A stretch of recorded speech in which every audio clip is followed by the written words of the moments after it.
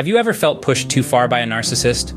It starts subtly, almost unnoticeably, like a tiny crack in a dam that gradually widens and deepens until the structure can no longer contain the pressure. The narcissist, a master of manipulation, begins to chip away at the empath's boundaries. They test the limits, subtly and persistently, disregarding the empath's needs and feelings. This is a slow dance of emotional manipulation, sometimes even verbal abuse, or worse, physical aggression. The narcissist, consumed by their own needs, sees the empath as a wellspring of emotional labor, a source to draw from without consideration for the cost. The empath, naturally inclined to prioritize others, finds themselves pouring out their energy, their compassion, their very essence into the narcissist's bottomless well of need. This cycle, this relentless give and take, can leave the empath feeling drained, emotionally exhausted, and running on empty. But the cost doesn't end there. As the empath bends over backward to accommodate the narcissist's demands, they may find their sense of self beginning to waver. Their identity, their self worth, becomes eroded, worn down by the ceaseless effort to please the narcissist, to keep the peace, to maintain the status quo.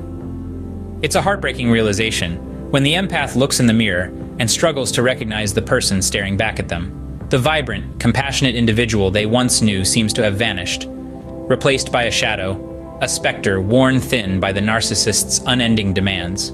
The empath may find themselves questioning their worth, their value, their very identity. It feels as though they've lost themselves in the vast, turbulent sea of the narcissist's needs. It's a chilling feeling to look within and find a stranger where you used to be.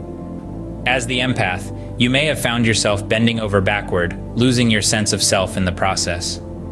This is the subtle buildup, the slow erosion of the self that can occur when a narcissist pushes an empath too far. But remember, this is not the end of the story, it's merely the beginning of a transformative journey.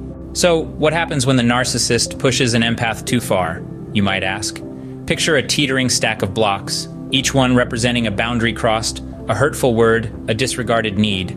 Then, the final block is added, the weight becomes too great, and the stack collapses. This triggering event, this final block, could be anything from a scornful insult to an outright disregard of a sacred boundary.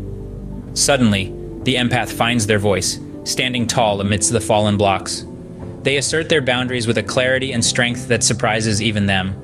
This could look like a direct confrontation, a firm declaration of what they will and will not accept, or perhaps the severing of the relationship entirely, the narcissist, accustomed to a pliable empath, is taken aback. They may react with anger, guilt tripping, or threats, trying desperately to scramble the blocks back into place. But the empath, now standing tall, is no longer willing to be a part of their game. The narcissist, stunned, may react with anger, guilt tripping, or threats to regain control. After pushing back, the empath embarks on a journey of empowerment and healing. This journey is not a simple stroll in the park. It's a transformative process, a metamorphosis of the empath from a caterpillar trapped in a cocoon of narcissistic abuse into a butterfly ready to spread its wings and embrace its newfound freedom. With every step, the empath experiences a surge of empowerment. They feel a newfound strength in asserting their boundaries, prioritizing their own needs, and saying no when necessary. This is a significant shift, a stark contrast to their previous pattern of self sacrifice and over accommodation to the narcissist's demands. As they navigate this path, the empath begins to redefine their concept of self worth.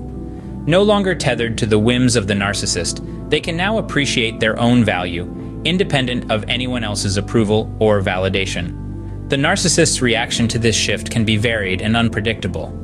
They may attempt to hoover the empath back into the cycle of abuse, employing manipulative tactics such as guilt tripping, gaslighting, or feigning remorse. However, the empath, now armed with awareness and resilience, is likely to resist these attempts. In some instances, the relationship may end permanently. It's a tough decision, but sometimes it's the only viable path to break free from the cycle of abuse. The empath realizes that their well being is not negotiable, and they have the right to walk away from anyone who threatens it. The aftermath is also a journey of self discovery for the empath. They learn to understand and value their own needs and boundaries.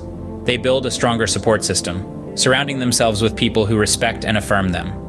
They also develop healthier coping mechanisms for dealing with future encounters with narcissists, ensuring they do not fall prey to the same patterns of manipulation and control. This journey is not linear, and it's certainly not easy. It requires patience, resilience, and a lot of self compassion. But every step taken is a step towards freedom, towards a life of respect, dignity, and authentic connections.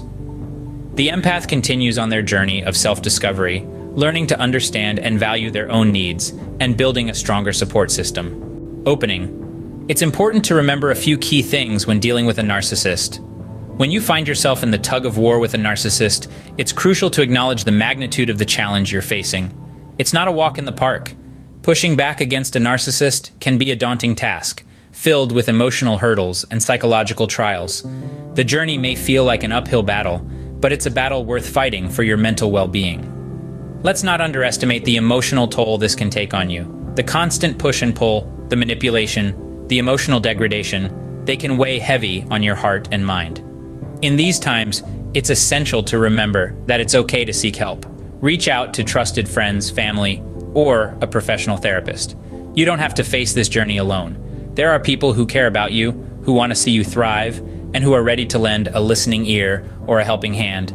Healing from narcissistic abuse is not a race, it's a marathon. It takes time, it requires patience, and it demands a lot of self-compassion. It's okay to have bad days, it's okay to feel overwhelmed, but on those days, remind yourself of your strength, your resilience, and your worth.